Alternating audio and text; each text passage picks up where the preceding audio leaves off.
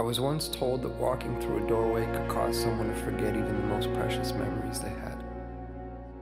Memories of good, memories of bad, memories of love and of loss, all tucked away neatly, stored like the worn out blankets that were kept to dress the rainy days and bad habits that happen from time to time. Or what it felt like to rest your head on a friend's shoulder that still carries with it the creases from where you last placed your heart. Just like that.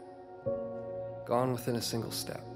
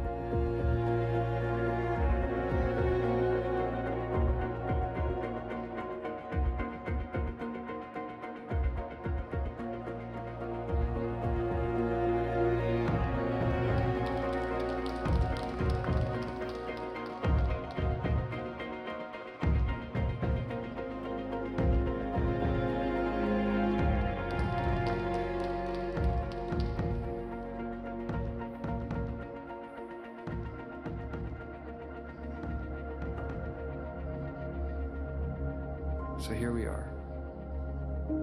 And I can vaguely and strangely trace your outline. I can remember what it felt like to hold you. I can remember what it was like to stare blindly into your eyes for what felt like an eternity. How could I forget that? I could never forget that. I could never forget you.